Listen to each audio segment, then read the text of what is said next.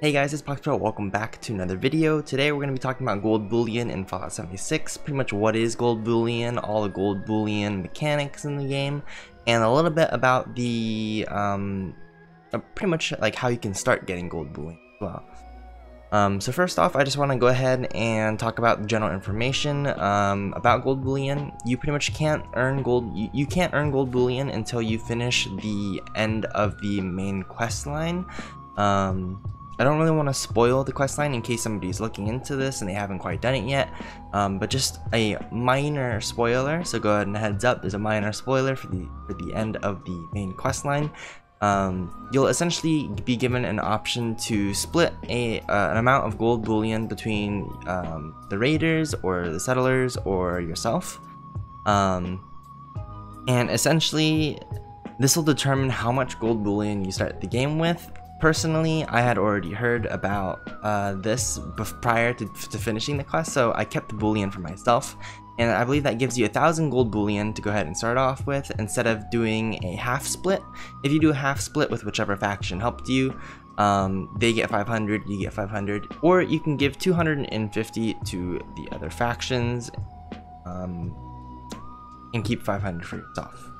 So you either end up with 500 or you end up with 1000 gold bullion at the end of the main quest line. And honestly, I highly recommend keeping the gold bullion for yourself. It did feel kind of bad in terms of like the roleplay mindset of like, you know, the settlers, they helped me out, they helped me get into the vault. I promised them a split of the gold and in the end I told them go screw yourself pretty much and held on to the gold bullion for myself. But in a video game's perspective, you start with a thousand gold bullion, which is going to be really good for the grind. Um, so that's pretty much what I wanted to mention first. Um, and then we'll go ahead and talk about the caps. Uh, there is going to be pretty much caps for all of the currencies. There's a, a, hard cap for how much you can get of gold bullion per day and how much you can have um, like total in your inventory at a time uh, per character. You can have a max of 5,000 gold bullion on your character at a time uh, per character. And you can only get 200 gold bullion per day uh, by trading in an item called a treasury note, which you get from completing events, daily quests, and um, when I say events, it's pretty much those events with an actual exclamation mark on the event. It's not just a regular event like defend the workshop. That's not going to award you the uh, treasury notes. And treasury notes dropped from quests with the exclamation marks vary, like the amount of treasury notes dropped vary depending on the difficulty of the quest itself or the event. I mean, um, and essentially what you want to do is once you get these treasury notes, uh, you want to go ahead and take them to gold press machines, and then you want to go ahead and process those into actual gold bullion. So you can stack up as many treasury notes as you want in your inventory, but you can only trade in um, up to 200 gold bullion per day as your hard cap. Um, once a week, I they don't really mention this in game, but once a week you can actually buy 300 gold bullion from an NPC named Smiley. And I'll go ahead and show you that on the map. And we'll go ahead and go through all of this and I'll show you. Right, and so Smiley, the NPC that sells the 300 gold bullion, is at the Wayward, which is a bar, um, and it pretty much costs a thousand caps per 50 ingots, uh, and that's like pretty much how he sells them. And there's a weekly limit of 300 bullion that you can buy from him. So once you buy 300 once a week from him, that's all you can get, and that um, stacks with the 200 um, max. So like let's say today I turn in 200 gold bullion worth of um, treasury notes and I haven't bought the 300 from Smiley yet. You can still buy the 300, netting me 500 today and then um, it resets every Monday, I believe. So uh, every Monday you can go back to Smiley and do the once a week purchase of 300 gold bullion, um, but that's going to cost you a total of 6,000 caps. And also Charisma will not lower the amount of caps it'll cost. Uh, it's not like a normal bartering. You pretty much have to do it through a dialogue option. So 6,000 or uh, 1,000 caps per 50. It's flat. There's no no charisma amount of charisma will help you make that cheaper. Uh, but let's go ahead and go through all of that um, just to demonstrate now. Alright, so first things first, I want to go ahead and show um, the events that I'm talking about. So you see this is an event icon, Event Breach and Clear, um, from my testing and from some research, these ones do not drop treasury notes. So when I first started playing and I unlocked the treasury notes, I started just doing all these random events. Some of them dropped them, some of them didn't, and I figured out that it is because they need an exclamation mark. So something like this won't drop in uh, treasury notes. Alright guys, so an event like this, event guided meditation with the exclamation mark, this is what's going to go ahead and give you treasury notes as a reward. And you can see the difficulty is easy, so this is probably going to yield the least amount of treasury notes, because um, you'll just get an increased amount of treasury notes based off of how difficult the is. Um, and then you would go ahead and join the event, complete it, and then upon completion, you'll see treasury notes pop up on your screen like a legendary item would. Um, but I'll go ahead and show you guys that because I'm going to do a primal cuts in about a minute here. One thing to know, another thing that you can tell whether or not it'll give you treasury notes is like this event right here, you can join for free, no caps, no cost. Um, but something like this, that's also an event, was actually going to have a join cost. I'm not quite sure why they have it like that, but if you want treasury notes, just make sure you're joining the events with the exclamation mark and um, there's no cap cost associated to the fast travel. Alright, and we're gonna go ahead and do the Primal Cuts event. This go uh, right now it's meat week, so there's gonna be Primal Cuts event starting every 15 minutes. Um, so these will actually count as events. You see the exclamation mark, no join cost, and difficulty easy. So this will actually give us um, treasury notes. So I'm gonna go ahead and show, show, you guys the completion and what it looks like when you actually receive um, the notes. Alright, so event is completed. I went ahead and had a solo this event. I'm gonna take all there. Alright, item rewards. You can see there's two treasury notes for the easy event. And uh, usually it'll pop up on screen, just like a legendary effect would. Um, like this legendary item right here. And then, oh my god, legendaries.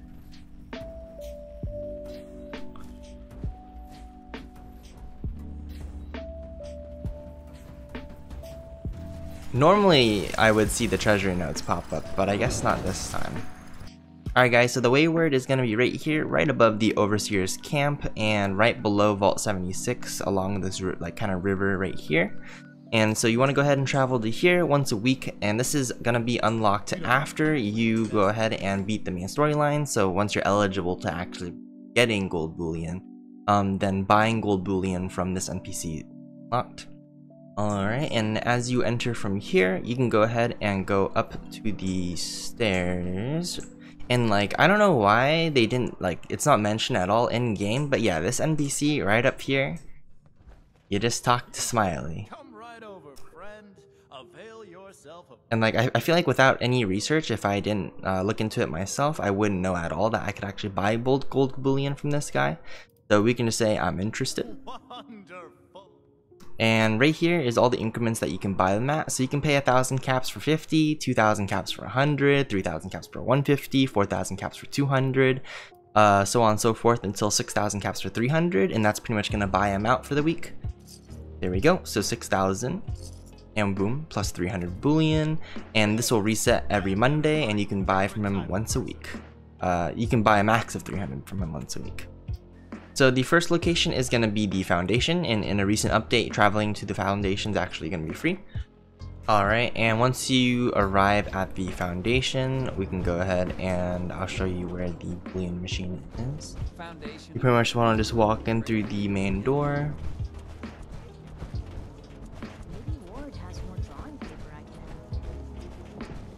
and you want to sprint all the way up to the main entrance into the foundation uh, hall.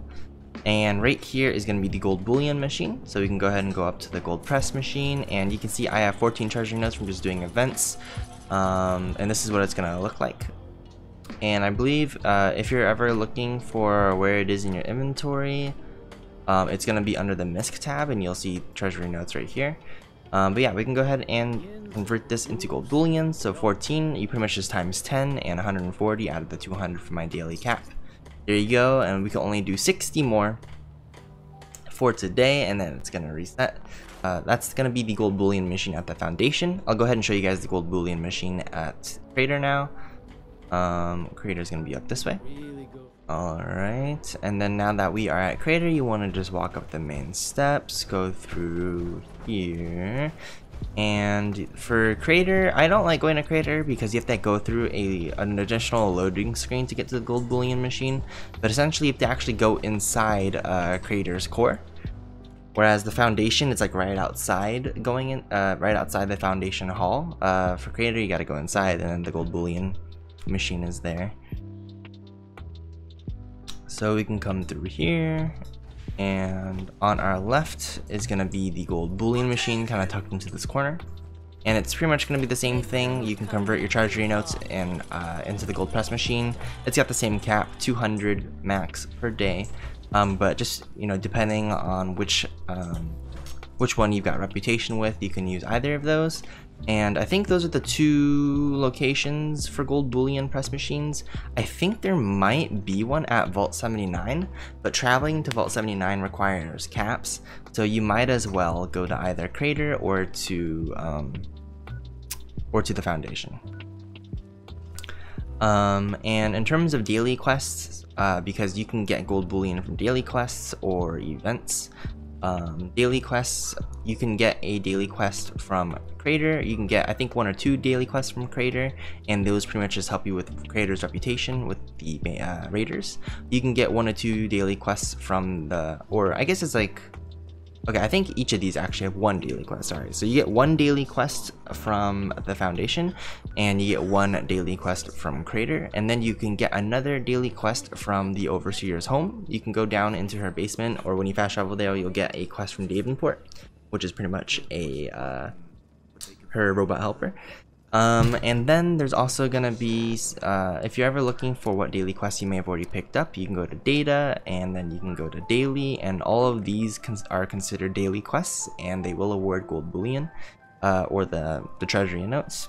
Alright guys, and since we are at Crater, I'm now pretty much going to go ahead and showcase Vault 79 itself and uh, what you can buy using gold bullion. And uh, if you don't have a, a location that is already close to Vault 79 that you can like be at to make the travel cost cheaper, then you could go to Crater and then go to Vault 79. Using the perk card only cost me 13 caps. Um, but yeah, I don't know if they're planning on making Vault 79 free to fast travel too, but it would be pretty nice. Um, but let's go ahead and go there. Do keep in mind that this fast travel location is only um, unlocked after you finish the main quest line, and then Alright, and now that we are down here, we can go ahead and door. And this is Vault 79. I was kind of blown away when I actually looked at the glass and could see all the gold being made. It was like, wow. Or maybe not being made, organized. But yeah, you pretty much want to go over here to the left and you want to talk to Regs and you can go to R to trade gold bullion. And this is gonna be all of the gold bullion items. And as far as I know no level of charisma will reduce these prices. They are pretty much flat priced. Um, I'm gonna go organize by notes and pretty much all of these here. Um, I'll maybe see if I can link something in the description that will give you a full list of all items provided um, or uh, sold for gold bullion, but I can kind of quickly go through it. We have a bunch of gauss um, pistol blueprints here. Um, Secret Service armor stuff, we got plasma caster um, items here, there's some protective lining, there's going to be a lot of Secret Service lining, Secret Service armor, Secret Service armor mods plans, and I'm a power armor user, so I'm specifically going to be using my um, gold bullion on T65 power armor plans. Um, these things are very expensive, and this is why I highly recommend that you keep all the gold bullion for yourself, because the T65 jetpack is 2,000 gold bullion. Like, you'd be halfway there. Um, if you just keep it some, uh, if you keep the full amount for yourself. And Thorn armor stuff, there's some Vault 94 Max, like Warglaive stuff, like there's just a lot of different things here. Um, and you can also use gold bullion to buy things like lunchboxes. There'll be a gold bullion vendor at each of the um, at each uh, foundation and crater. And I believe as you progress the reputation with them the shop may offer more. And yeah that's gonna be pretty much it for this video guys. I hope you enjoyed. If you have any questions comments or concerns please let me know in the comment section below. Any positive or negative feedback also let me know. That way I can improve I hope you know everything you needed to know about gold bullion and now you know how to get it and like what you can do with it and I just hope the video was helpful. Um, but yeah that's me pretty much it. Until next time guys